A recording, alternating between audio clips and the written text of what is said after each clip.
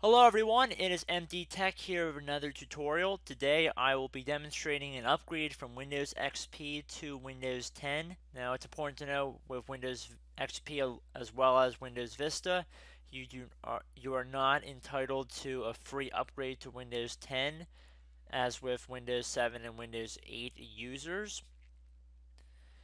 But this is more of a demonstration just to kind of see how it goes and more or less just kind of fun to see how it goes out. And if for nothing else, it's just it's an interesting experiment. I want to see how it goes. So anyway, at this point, I've already inserted my Windows 10 installation disk into the computer. So to begin, I'm going to restart the computer.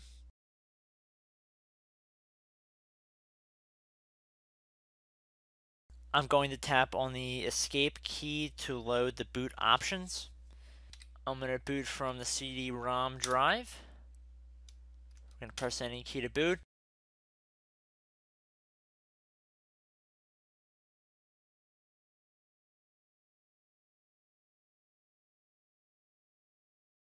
Okay, so we are the Windows setup.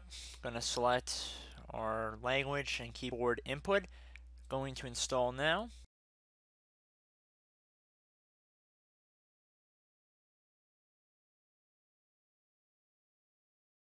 Okay, so now, uh, since we are not upgrading from Windows 7 or Windows 8, we're going to have to enter a legitimate product key from Microsoft.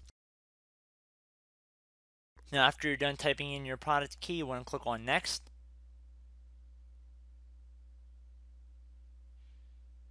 You want to accept the licensing terms. Now, since we are upgrading from Windows XP, we have to select Custom, Install Windows Only, which is the advanced option we cannot perform an upgrade from Windows XP. However, if you're looking to upgrade everything from Windows XP or virtually almost everything from Windows XP and you want to get it on Windows 10, the only supported way from Microsoft to do that is to upgrade your Windows XP machine to either Windows 7 or Windows 8.1 and then upgrade it again to Windows 10 so, I mean, that, that's a little bit more of a hassle. But if you're looking for an upgrade, I guess you can perform it like that. But for most users, the uh, custom install is the most logical and reasonable option to perform. We're going to go off of drive 0, partition 1, whichever the largest um, hard drive is available. Select OK when prompted. So right now Windows is copying files and getting everything ready to go. And once this is done, I will be back. Hello everyone, so now we can either select customize settings and that'll give us more choice over what we are allowing Microsoft to make their their recommended settings to default settings. Um, but for the simplicity of this review, we're just going to select use express settings because it'll be a little bit faster. And now I am going to fast forward through this part and uh, once we see something new on the screen, I will be back.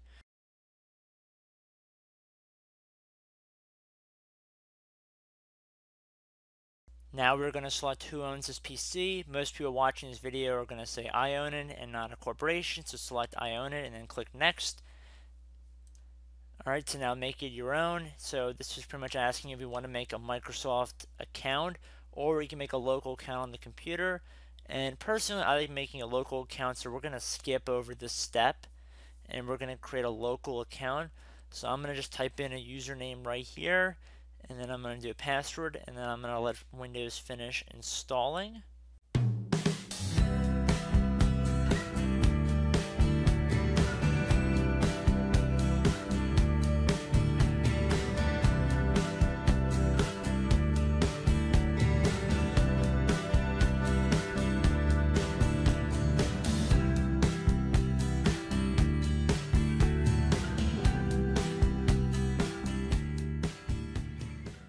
Okay everyone, so as we can see we have successfully upgraded to Windows 10 from Windows XP.